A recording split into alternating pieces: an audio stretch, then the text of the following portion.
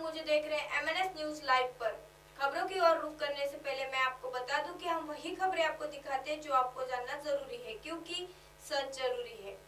Article 370 पर भारत के साथ अमेरिका ने पाक से कहा, खुद पर काबू रखे। जम्मू कश्मीर से अनुच्छेद 370 हटाए जाने से झल्लाया पाकिस्तान। भारत के खिलाफ एक के बाद एक फैसले ले रहा है।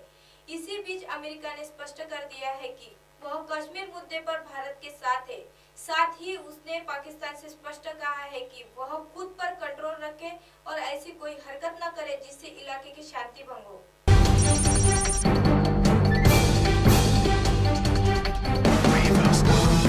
हाफिज सईद के खिलाफ टेरर फंडिंग के आरोपों पर 2 सितंबर को शुरू होंगी सुनवाई। पाकिस्तान की आतंकवाद निरोधक अदालत मुंबई आतंक हमले के मुख्य साजिशकर्ता और जमात उद दावा प्रमुख हाफिज सईद के खिलाफ आतंकवाद के लिए पैसे जुटाने के आरोप पर 2 सितंबर को सुनवाई करेगी।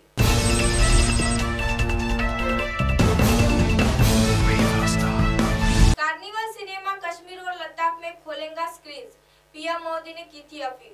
पीएम मोदी ने फ़िल्म इंडस्ट्री से जम्मू और कश्मीर, लद्दाख में फ़िल्मों की शूटिंग और निवेश आदि के लिए आग्रह किया था। अब कार्निवल चेन जम्मू और कश्मीर में। 30 स्क्रीन खोले जा रहे हैं। इसके अलावा पास स्क्रीन लद्दाख के क्षेत्र में भी होगी। एमएनएस न्यूज़ लाइव की खबरें देखने के लिए आज ही प्ले स्टोर से एमएनएस हिंदी ऐप डाउनलोड करें और हमारे चैनल को सब्सक्राइब करें। धन्यवाद।